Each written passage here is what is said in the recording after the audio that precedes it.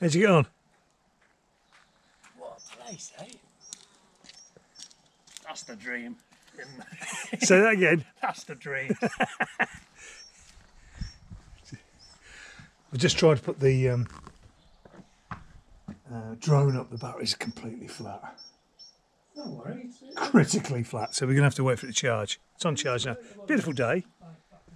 Just having a look around the place, filming it for your mother.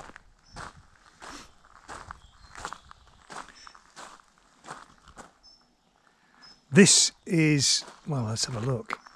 It's the sort of kitchen area. This keeps getting blown around in the wind. So get that out of the way. You can see everything you need. It's all the recycling down there. Washing machine, sink. This is beautiful fresh water. The water at the taps is a little bit, a little bit odorous.